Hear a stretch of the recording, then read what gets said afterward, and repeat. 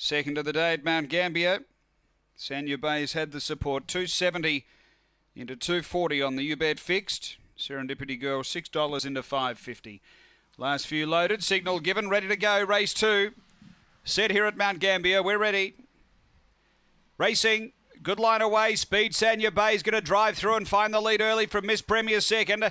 A couple away, Sketchy Kathy. Three away, Neb's Horse, Kathy's Lady. Then Serendipity Girl and Don's Bobcat back at the tail. And Schnell is about 12 lengths last. Off the back, leader Sanya Bay tackled by Miss Premier. And behind those came Sketchy Kathy straightening. Miss Premier took the lead, got clear. And Miss Premier beat Sketchy Kathy through for second. Sanya Bay third, then Serendipity Girl. Next is Kathy's Lady. Uh, then came Neb's Horse from Don's Bobcat.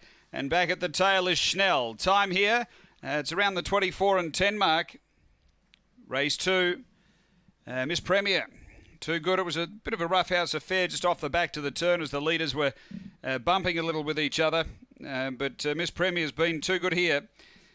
Uh, number three, Kevin Ward, owner trainer. A Black Bitch, October 2014. Magic Sprite, Don's Premier. Number three first. Uh, second going to Sketchy Kathy, number four. Tim Richards, a Red Brindle bitch, February 2015. Collision Corborn Hayes. And uh, two Sanya Bay, Peter Rowan, a Brindle bitch, September 2015. Kinloch Brae, Rosehill Sanya. It's 3426 after uh, race number two here at Mount Gambier.